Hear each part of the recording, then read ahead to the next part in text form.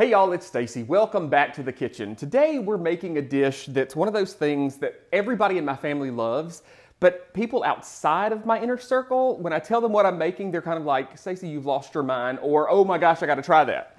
This is turnip green dip. Now, think spinach dip, like, like a spinach artichoke dip, but we're swapping that spinach for turnip greens because you know, any opportunity that we've got to add a little southern to something, that's what I'm gonna do. I've started by cooking seven pieces of bacon here just until it's crispy. I'm gonna take this out and drain this on some paper towels.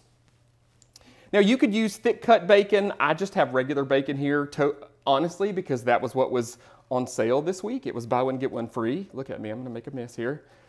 Um, I'm gonna turn this heat down uh, because we're actually gonna use this bacon grease in our next step. Depending on how fatty your bacon is, you may need to drain some of that bacon grease away. You're gonna need to leave about two tablespoons in here. I think that's about what we got, so we're gonna leave that right there. I'm gonna turn that down.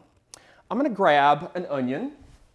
I'm gonna use a yellow onion, partly because like with the bacon, these were on sale this week. A white onion will work fine.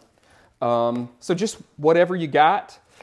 I'm gonna use half of this onion. So I've left that root end on, I've trimmed off the stem end, and we're gonna peel off this outside layer. That tends to be kind of tough, kind of fibrous, so we're not gonna use that. Now look, I'm not one of those people that's gonna tell you there's only one way to chop an onion. It's just not gonna happen. You know, you can use the method where you dice it like this and then you make the slices. All you're doing is if you think about these as concentric circles, is, is that right? Concentric circles? I think that's right. Anyway, you get the idea. What we wanna do is we wanna cut these into uniform pieces. The reality is, is that if you get them close, when we put them in this bacon grease and cook them, cook, cook them down, it's not gonna make a huge difference. So do whatever method works for you. The other method is called the radial method. And essentially what you do is you cut in at an angle all the way around. And what we're doing is we're just cutting those layers into pieces. I'm gonna use the traditional method just because that's kind of what I do the most. Um, so what I'm gonna do is I'm just gonna slice in almost to that root end, trying my best not to cut all the way through. Then I'm gonna take it and I'm gonna turn it like this. I'm gonna put my hand flat with my fingers out of the way and we're just gonna cut into this a little here. Because again, what we're trying to do is we're trying to break up those circles of onion so that when we do this, we have nice uniform pieces. Now, my technique is not perfect. As a matter of fact, that wasn't a great example, but you get where I'm going with this. And like I said, as long as you get it into decently sized pieces that are relatively uniform, it's gonna work just fine. This half of an onion is gonna go into our bacon grease here. We're gonna cook this for about three minutes, just until it gets soft. Let me rinse my hands off here.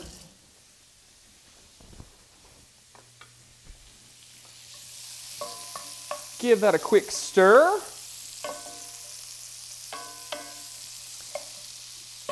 Now for our turnip greens. I'm gonna use a 16 ounce package of frozen turnip greens. I find this to be the easiest way to do this because you can always get frozen turnip greens. The reality is, is that if you can't get your hands on turnip greens, you could use collard greens probably, or you could use spinach like we said before. Let's see if we can get this bag open. Like I said, this is a 16 ounce bag. Um, it, if you can find a 15 or 16 ounce bag, you know, it's not uniform in terms of size by brand. So something close to that is what you're gonna need to make this work. All right. Once those onions are translucent and everything's starting to smell good, we're going to add these turnip greens, after we make a mess everywhere, right to our pan here. Now this is gonna cook way down, just like spinach. You know, you buy a giant bag of spinach, you end up with a, like a single serving. That's what's gonna happen here with these turnip greens. Maybe not to the same extent, but these are gonna cook way down on us. Now, I sometimes get the question, can I use fresh turnip greens? I think that you probably could use fresh turnip greens. What you would want to do though is to make sure you wash them really well, chop them down, and maybe even blanch them and drain them first because freezing them in this process starts to break those turnip greens down a little bit. And I think if you used fresh turnip greens right off the bat, they're probably not gonna cook through enough um, because they're only gonna be, this dip is only gonna be in the oven for about 25, 35 minutes. So we wanna make sure that we um, get everything cooked through. See if I can clean up my mess here for a second. You know, I always get in trouble at my house because Heather is always telling me I'm such a messy cook. And the reality is, is that that's 100% true. All right, next to this, I'm going to add a 15 to 16 ounce jar of Alfredo sauce. This is gonna make this process so much easier. It's one of these great shortcuts that's gonna give lots of flavor, lots of creaminess without a lot of work.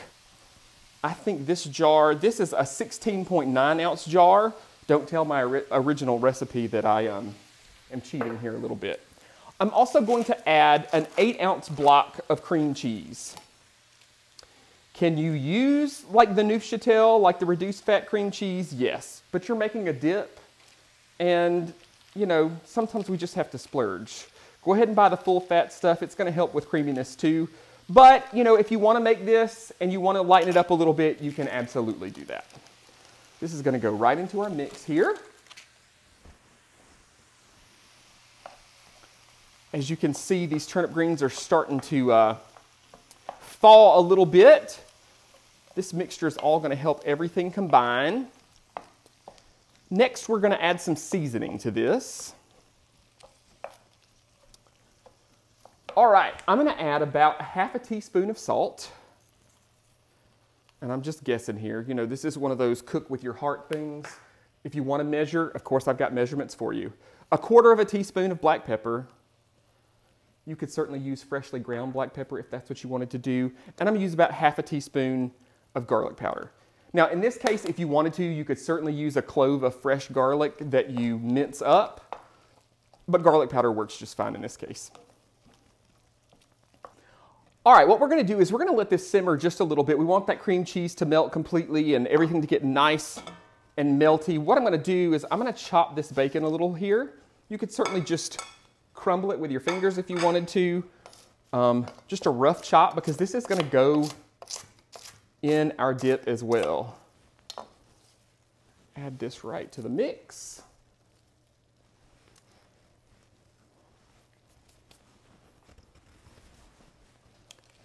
Stir this together. Once this cream cheese gets all melted, and if, if it doesn't all melt completely, that's totally fine. We're gonna put this in a 350 degree oven for 20 to 25 minutes, just till it's nice and bubbly around the edges. Turn that off there. Grab this. Now, one thing I will mention too is if you start this in an oven-proof skillet, you can finish it in the skillet. Otherwise, you can transfer this at this point to a two-quart baking dish that you've sprayed with non-stick cooking spray and cook it that way. Either way works fine. I think it looks kind of cool to keep it in the cast iron skillet like this. So when I do it at home, this is typically how I do it. Again, 350 degrees, 25 minutes. We'll be right back. All right, so it's been about 20, 25 minutes, and you can see that this is nice and bubbly.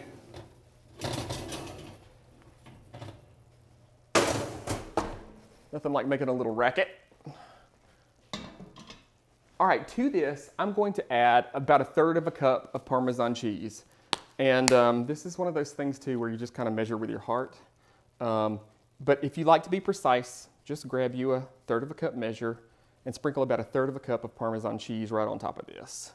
This is just plain old out of a green can. If you want to be fancy, grate your own. If you want to use um, another type of Parmesan cheese like Par Parmigiano Reggiano, I know I just butchered that, just ignore me. Um, this is going to go back in the oven under broil this time for about five minutes. Now, the thing about broiling anything is you really need to watch it. I like to be able to crack the door of the oven when I broil because it's gonna allow some of that heat to escape.